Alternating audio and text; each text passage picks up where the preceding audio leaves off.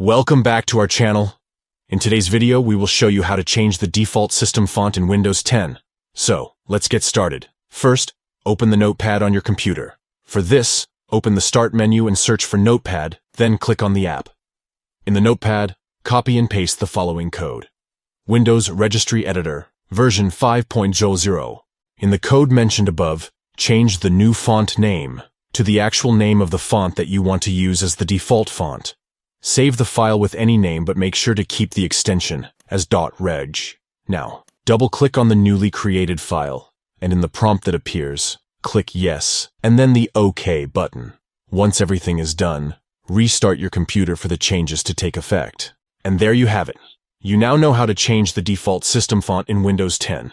It's a simple process that can help personalize your computer and make it truly yours. Thank you for watching.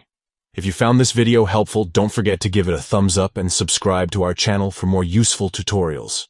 If you have any questions or suggestions, please leave them in the comments section below. Until next time, take care and happy customizing.